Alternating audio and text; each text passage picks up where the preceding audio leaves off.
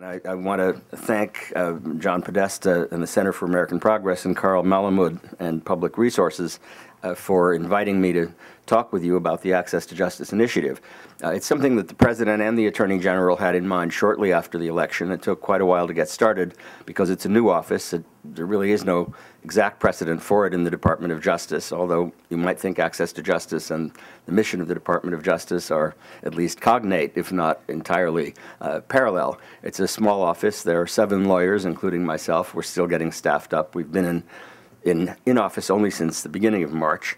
The um, charge of the office, its, its mission, is, however, rather broad. Uh, we're charged with improving indigent defense, uh, enhancing uh, the quality and availability of civil legal services uh, to the poor and to the middle class, and quite importantly, seeking uh, less lawyer and court intensive solutions to problems.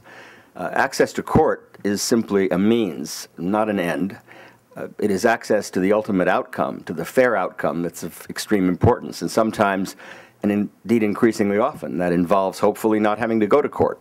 Uh, going directly to a BP escrow fund is a lot more valuable than having to bring a lawsuit, class action or otherwise. Uh, there are many parts of the government, uh, Social Security, veterans, other areas where the direct effort to make benefits more accessible and the labyrinth less Byzantine uh, are really central to our initiative. And indeed, what we've discovered in looking around the country at many different areas, both criminal and civil, uh, is that the system is generally speaking broken. It's broken for the middle class as well as for the poor. Uh, people who want to use the legal system as a means of gaining access to the outcomes that are their right often, and indeed more often than not, find law an obstacle course rather than a facilitator. And so as we've asked how we can make a sustainable difference around the country, uh, we have found places like uh, Seattle, Philadelphia, Boston, uh, New Orleans, where efforts are underway which fit the idea of making the law more accessible, more user-friendly, uh, in self-help as well as legally assisted contexts. There's lots of resistance. Very often, uh, courts will have portals that are sort of designed to facilitate self-help, but then they won't allow electronic filings by people who are representing themselves rather than being represented by lawyers. Uh, and when electronic access is available, very often the interface is primitive, uh, not at all user-friendly, so that there is a tremendous marriage, in a way, between what I understand the purpose of law.gov to be and what our purpose is.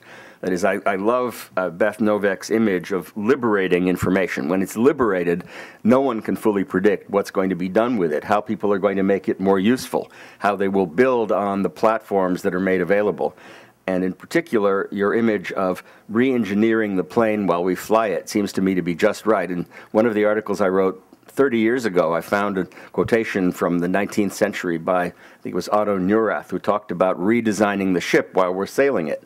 Uh, so it's an old idea, but it's an idea that is made more plausible with contemporary technology because sort of the dangers of redesigning the system while one uses it can be offset by the, by the virtues and the possibilities of a technological universe that makes that not simply an aspiration, but perhaps a reality.